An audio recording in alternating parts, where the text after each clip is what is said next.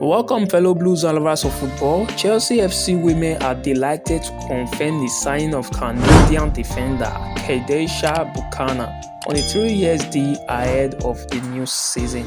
The 26 years old officially joins the Blues from French side Olympique Lyonnais on 1st July until the summer of 2025. The central back will be the first player to wear the famous jersey number 26 for Chelsea since Blue legend John Terry. Buchanan has spent the past five and a half years at Lyon, where she most recently won the UEFA Women's Champions League against Barcelona, securing her fifth Champions League trophy with the French side. The Canadian defender has had an illustrious career to date, proving to be one of the Europe's best. In another news, earlier this week, Chelsea women also strengthened the defensive rank by signing French right back Yves Perisset in a three years deal.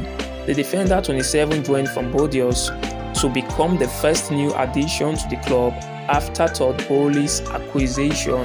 My fellow Blues, our women team are doing well in the transfer market. We hope similar fate is transferred to the men's team so we can start to get confirmations from summer transfer targets. Please kindly tap the subscribe button and put on the notification bell for more updates. Thank you.